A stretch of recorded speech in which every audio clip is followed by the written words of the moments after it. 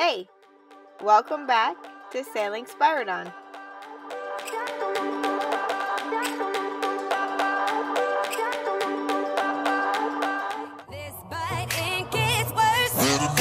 Not and baby, I'm the baddest. You fucking with a savage. Can't have this, can't have this.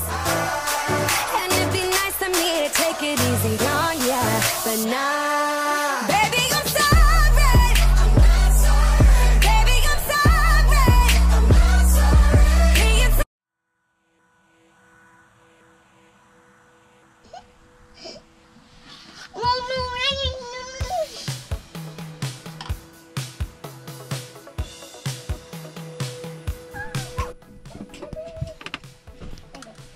Hello, YouTube land.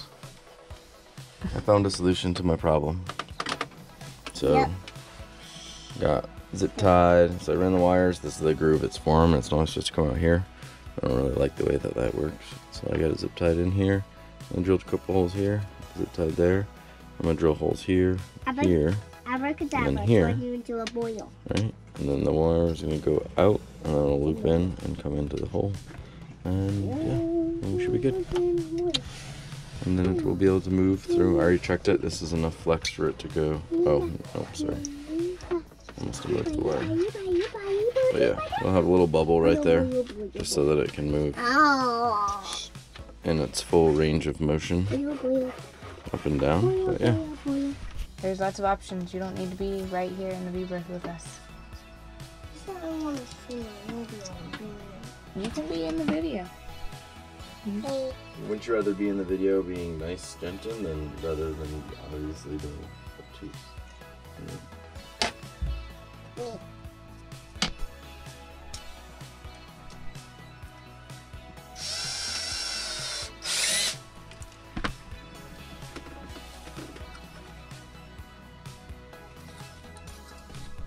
The art of zip tie installation. I will tell you all this. Everybody out there that wants to use zip ties, these aren't even my good ones. My good ones are at work. But if you're gonna use zip ties, get these are called flush cutters. So when you snip the zip ties, it doesn't leave any real ends right there. So, because zip ties, when you cut them with regular side cutters, they leave these really sharp prongs. Um, and if you have to work on them or work around them, you snag them, you'll slice your hands on them, and it's really annoying. So, nice set of flush cutters. Not only does it look more better, a lot better, but uh, let's see, it doesn't leave anything there to cut yourself on. So, but, yeah.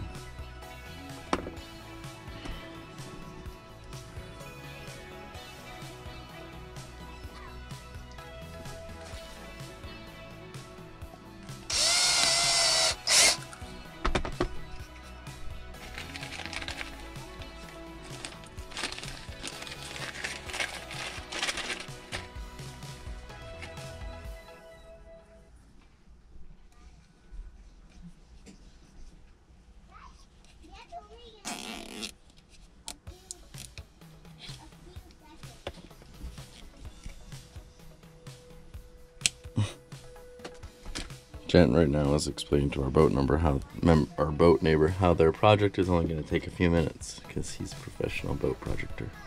So, I don't know if you guys can hear him in the background.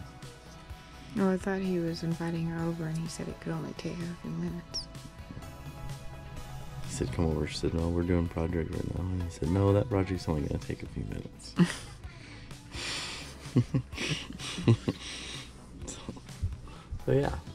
Anyway, he's gonna be a foreman someday.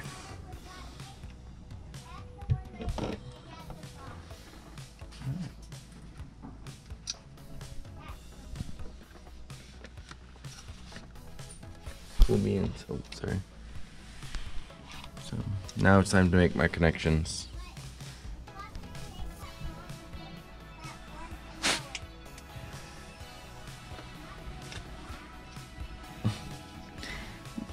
Jenton, boat projects take forever, bud. Take longer than you think. Every single time.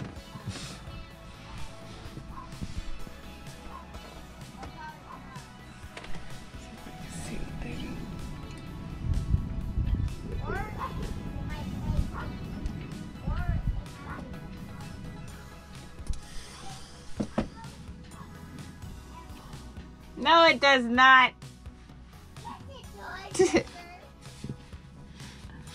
leaks as much as that boat is supposed to leak. not everywhere though.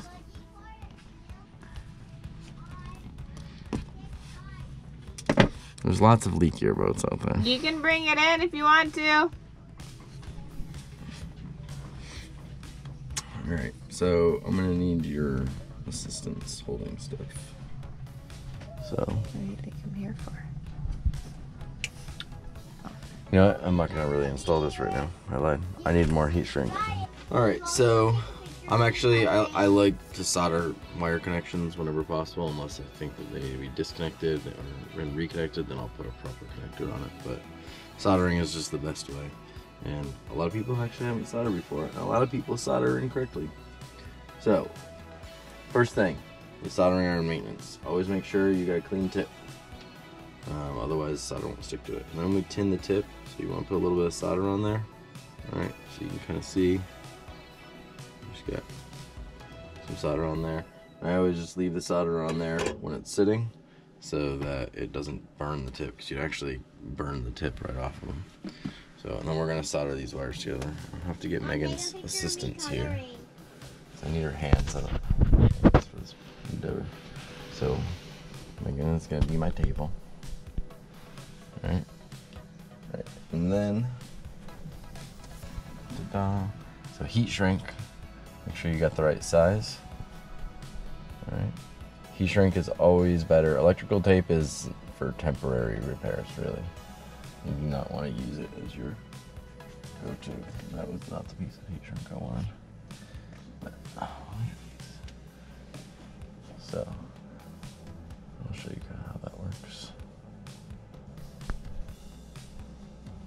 All right.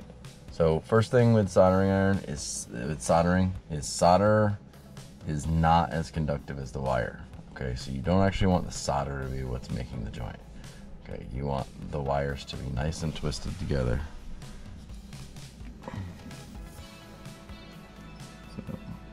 Start twisting one and get it around nice and tight. Alright. Should be pretty snug fit. Alright. So that joint is pretty tight just on its own, even without soldering it. And that's kind of what you want. Or not kind of, that is what you want. so I use a variable temperature soldering iron, which I strongly recommend. But if it's not in the budget, they're really not that expensive. If you don't have time or they're not available, any soldering iron will do. But being able to vary the temperature is nice if you have to do any like electronic repair and you have sensitive pieces of equipment you don't want damage being able to fluctuate the heat is useful. All right, so heat. Obviously, the the solder is going to go to the heat. I always put the heat on the underside of the repair.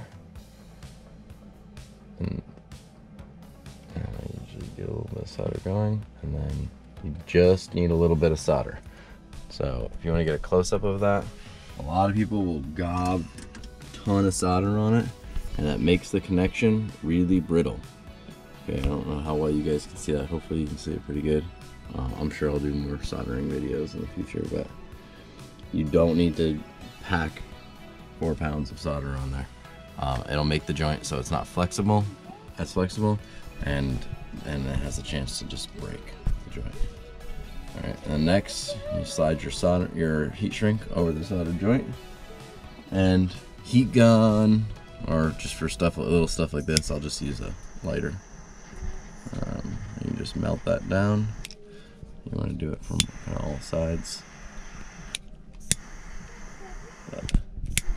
So that's a nice solder joint. It's a nice connection. That's about as good as you can get to, other than like one continuous piece of wire. But if you need to attach stuff, that's the best possible way to do it. So get this other wire done, and then I can get this fan this way installed. And I totally just messed up.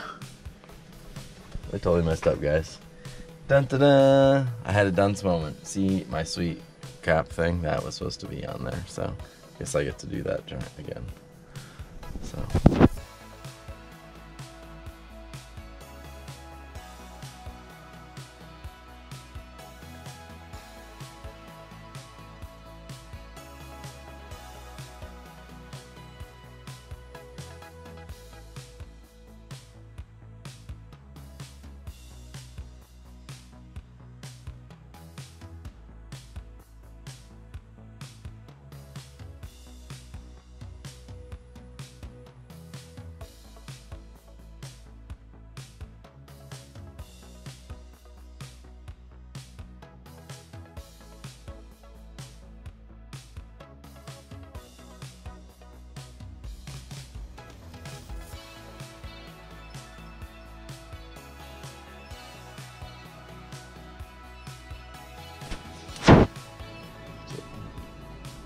One of the other things that I do is I stagger my solder joints so that there isn't two joints right next to each other. Just makes the wiring sit a little nicer and so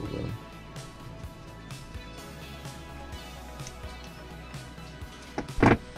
Oh, and get a good pair of wire strippers. Don't mess around with garbage wire strippers that don't work, that don't cut into the wire, that aren't sized properly. Spend the money on a good pair. Otherwise, you just end up doing more damage than good.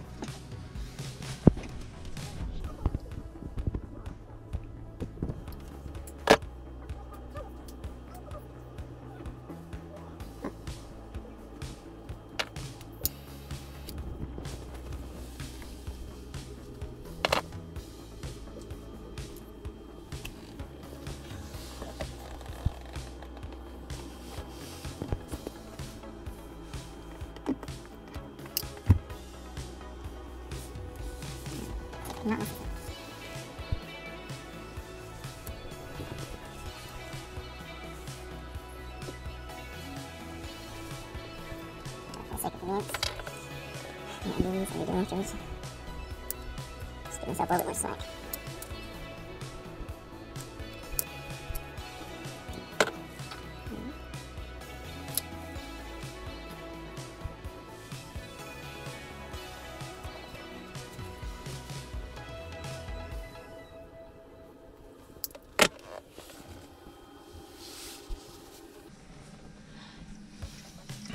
Alright, I can get my lovely assistant's help again.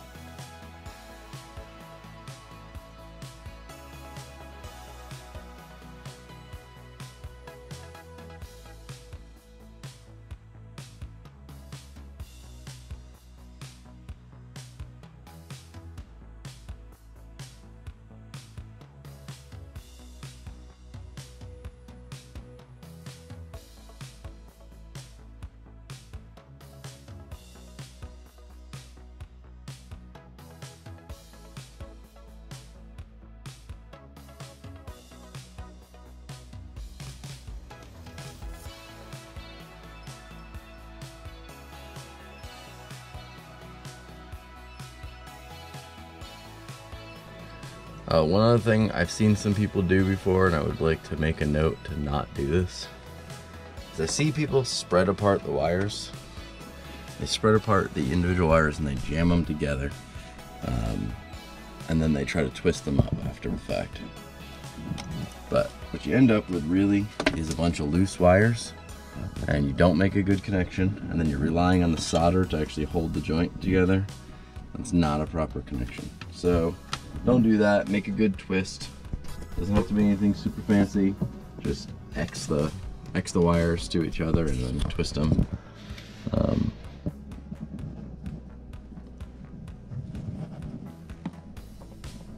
come your way with it, babe.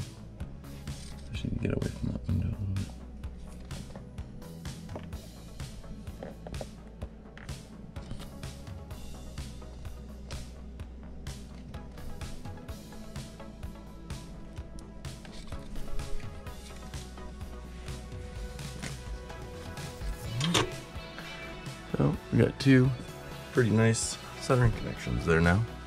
I'll light on. So you can see, it's not a ton of solder globbed on it. Just enough to hold it together, make it permanent. So now we'll heat shrink it.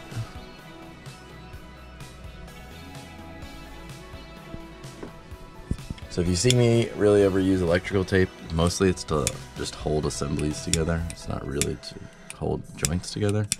I'll electrical tape a lot of times over top of something like this if I have a bunch of wires I want to try to keep them together. So